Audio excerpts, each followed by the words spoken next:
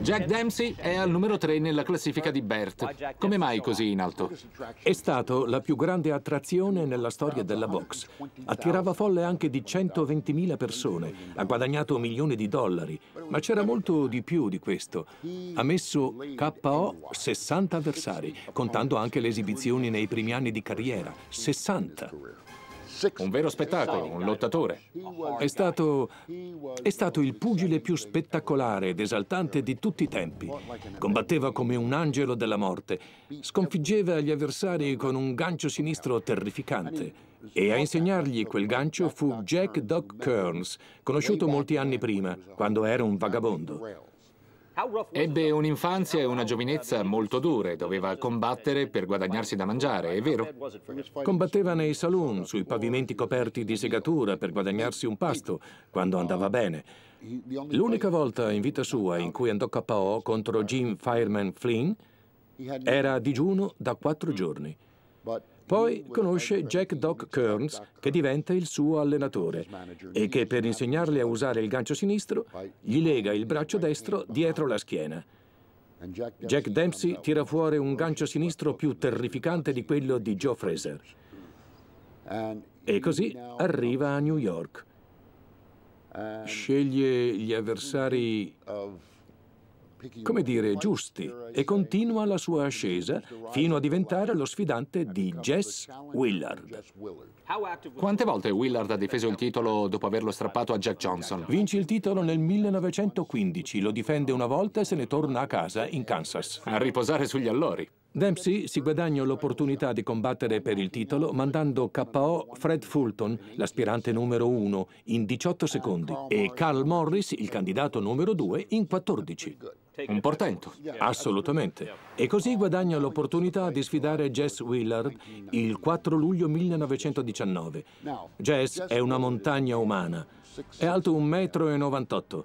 Tex Ricard ha organizzato l'incontro a Toledo, in Ohio.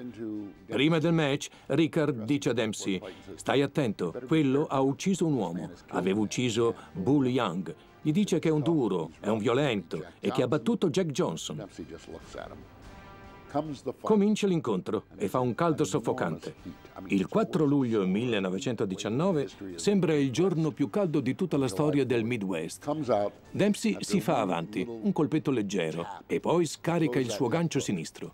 Willard va giù con la mandibola rotta in diversi punti. Con un pugno? Uno solo.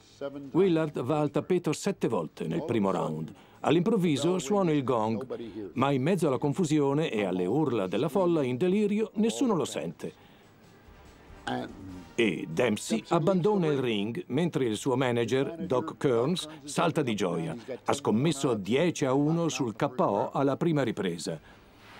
Ma a quell'epoca, diversamente da oggi, il conteggio non continua oltre il gong. Il gong mette fine al conteggio. Willard riesce a combattere per altre due riprese e poi è finita. Al termine del terzo round se ne sta lì, seduto, e ripete ho una fattoria in Kansas, ho una fattoria in Kansas. Ed è quel che gli resta. Da quel momento Dempsey diventa un mito dello sport, eclissando anche Babe Ruth. Paul Gallico, che ha definito quegli anni l'età dell'oro dello sport, ha indicato Dempsey come il più grande e ha messo Babe Ruth al secondo posto, davanti a Red Grange, Tilden e Bobby Jones. In tempi più recenti, 15 anni fa, Jim Murray ha scritto sul Los Angeles Times quando Dempsey si ritirò, dovettero ritirare il titolo di campione. Insomma, era davvero un mito. Ha indicato il match tra Dempsey e Firpo come uno degli incontri più belli di tutti i tempi. È il tuo preferito? Il migliore. Allora, dici un po' com'è andata. Firpo era un gigante. A vederlo sembrava addirittura più grosso di Willard. Lo chiamavano il toro selvaggio della pampa. E anche Dempsey, quando lo affrontò, aveva un bel soprannome, il picchiatore di Manassa, perché era nato a Manassa, in Colorado. Era stato David Renien a dargli quel soprannome. E così il picchiatore di Manassa e il toro selvaggio della Pampa si affrontano allo stadio Polo Grounds di New York, davanti a 100.000 spettatori stipati come sardine. Suona il gong e al primo pugno di Firpo Dempsey va al tappeto. Dempsey si rialza e al suo primo colpo Firpo va giù. Il match va avanti così. Dempsey stende Firpo per altre sei volte, ma il knockdown più famoso della storia della box, perché è immortalato nel quadro di George Bello, arriva quando Firpo, dopo essere andato al tappeto, si rialza, si scaglia contro Dempsey e lo colpisce. Dempsey vola di schiena oltre le corde, giù dal ring. Dempsey a terra e dice qualcuno mi aiuti. E Jack Lawrence del New York Times, tutto concentrato nel battere a macchina la cronaca di quel match, dà uno spintone a quel tizio che era finito sulla sua macchina da scrivere. In pratica spinge Dempsey di nuovo sul ring. Dempsey torna sul ring e butta di nuovo giù Firpo. Inizia la seconda ripresa. Dempsey atterra Firpo altre due volte. In quattro minuti ci sono 11 knockdown. Un match incredibile, spettacolare, il più grande della storia. Ma Jed Dempsey era così. Sul ring era sempre uno spettacolo. Titolo mondiale dei pesi massimi tra Dempsey e Gibbons.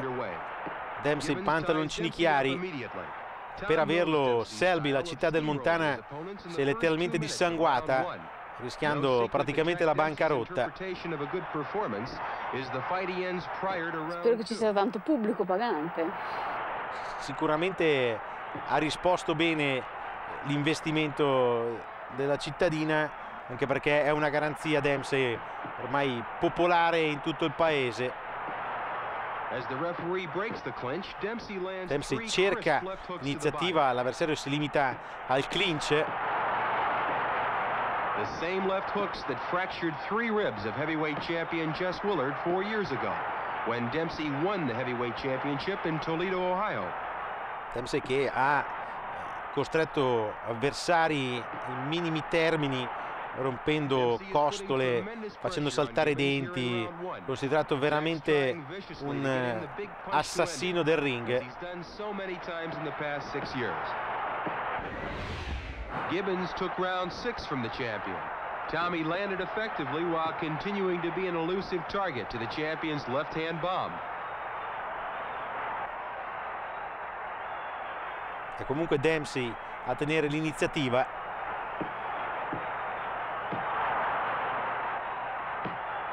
Gibbons riesce anche a creare qualche difficoltà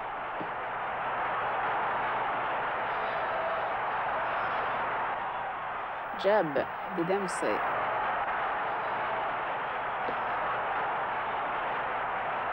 Dempsey throws two vicious left-right combinations at Gibbons. Gancio da parte di Dempsey e scappa letteralmente l'avversario.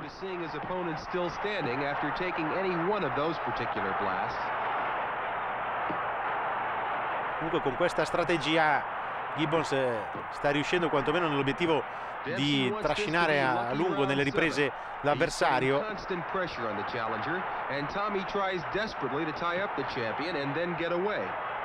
In pochi sono riusciti a trascinare punti in carriera Jack Dempsey.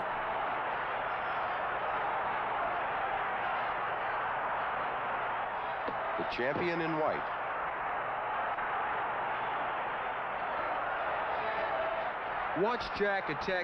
Ha solo un paio di occasioni Dempsey prima che arrivi il clinch sistematico da parte di Tommy Gibbons.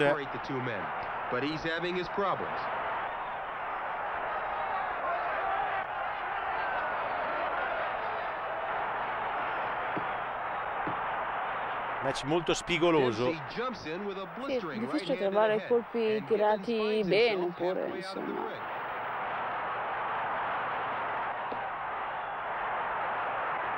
Gibbons che addirittura finisce fuori dalle corde. This is Tommy's 103rd fight and he's yet to be knocked off his feet. Qui si scatena la furia di Dempsey, which very few boxing experts believed he could do. In qualche modo è riuscito in un'impresa comunque Gibbons, cioè a limitare la potenza di quello che era considerato un vero e proprio animale da ring. Ha costretto oltretutto Dempsey a sbagliare molti colpi, a essere impreciso.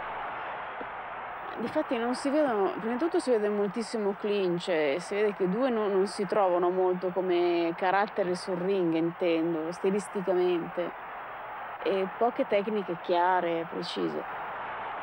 Eh, ma non aveva probabilmente altro modo Gibbons per eh, affrontare Dempsey.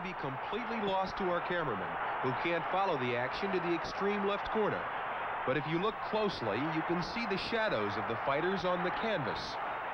Comunque sono sempre a contatto i due, non c'è di fatto distanza, non concede niente all'avversario Gibbons che ovviamente così facendo non può che, che perdere il match. Troppo forte per lui Dempsey. We're on a train leaving town after grabbing the last $56,000 left in the till.